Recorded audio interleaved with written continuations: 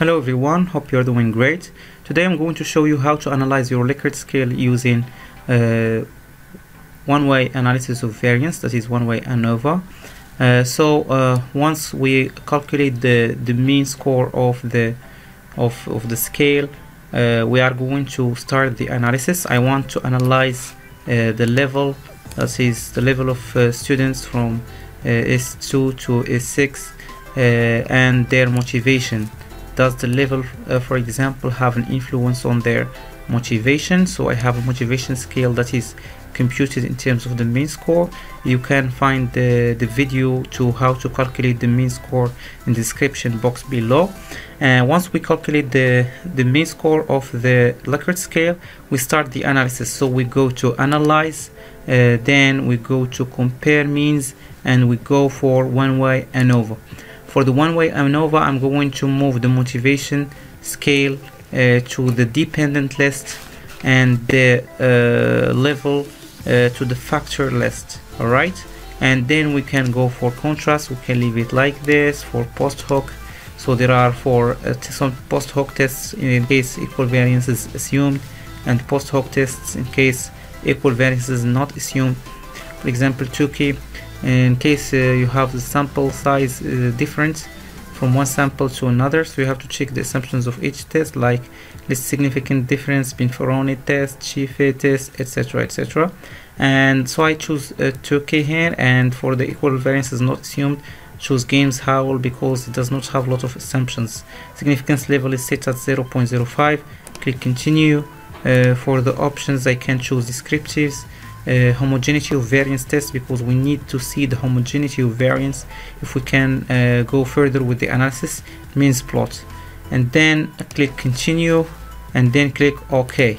So in the output uh, we can see here the mean the, the groups and their means. We can so according to the mean you can see that there is somehow a difference between the means. Uh, so we are going to check whether this difference is statistically significant or not so we go to the ANOVA test for the motivation scale between groups and within groups. So the sig value that is the p-value is 0.03 uh, so this value is less than the alpha level that we set earlier which is 0.05 so therefore there is statistically significant difference between uh, the level of students and their motivation. But we don't know uh, which group has more motivation which group has less motivation so we can go to the post hoc test uh, and look at the sig value for each one in which in case we find it uh, less than 0.05 we can assume that there is difference for example between uh, four and six semesters uh, in terms of motivation. And then uh, because like this is like multiple t-test so uh, this is how it works. For the Games Howell test to check the assumptions also you can say define it again between the uh, the fourth semester and the sixth semester. So this is these are the groups in which there is difference in terms of motivation. Anyway but so we want to uh, see whether we can adopt this model or not. So we check the variance. Okay so where is the variance? I saw it just somewhere here.